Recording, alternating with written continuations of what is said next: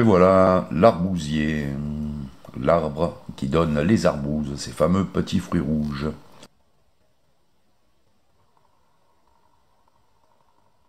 Les feuilles de l'arbre rappellent un peu le chêne vert, elles sont allongées, effilées et légèrement dentelées, comme ce dernier. On est ici au mois de. On est début novembre, le mois où on peut apercevoir à la fois fleurs et fruits.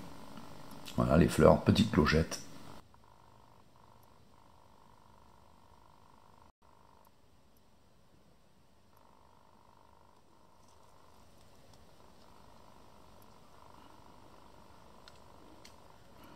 Les fruits.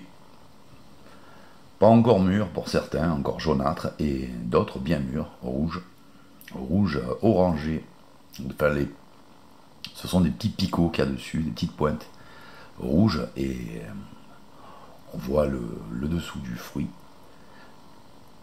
qui est orangé.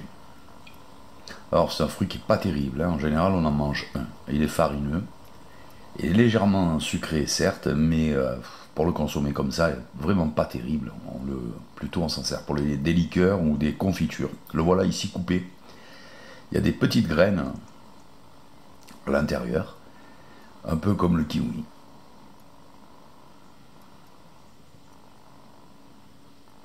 Voilà les amis pour cette courte vidéo. Je vous dis à bientôt pour une prochaine et prenez soin de vous. Ciao ciao.